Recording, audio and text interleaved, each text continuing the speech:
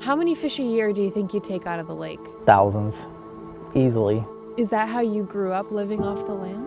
Yeah, we never had much. We were always kind of poor. When you first heard about the contamination out here, It upset us because we knew that we had already eaten so many things out of this area. Um, Mom's actually had cancer for two years now. I don't remember as a kid hearing about cancer everywhere, whereas nowadays I do. It seems like everybody I know is suffering. All right, give me this arm. Went and saw the pediatrician and then just said, well, your son's going to be mentally and physically handicapped. We were completely overwhelmed by everything. Our entire world was upset. We never knew there were toxic chemicals in the groundwater and the well water there. We have over 400 bases where this stuff was laid out on the ground.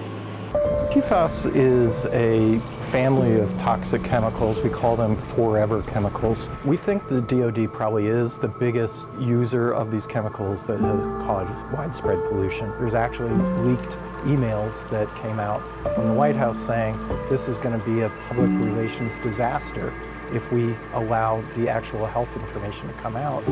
They had accidental discharges of the PFAS foam, so I had to basically crawl out through the amount of foam. I've been married twice, and we never were able to conceive. did it impact your marriages? It's pretty much ruined them. Give me a, an idea of when the Air Force understood that there was PFAS in the foam. Well, they knew that from the beginning. There is no plan right now, and there's no timeline even in place to have a plan. This is where the second most contaminated fish in the world was pulled from. These are the poster child for everything that's wrong with our environmental protection in this country. The Department of Defense refuses to clean up this groundwater, even though they fully acknowledge that their actions created this pollution. There is no doubt as we stand here on this lake that it is in violation of Michigan law. Oh, there's no doubt in my mind at all.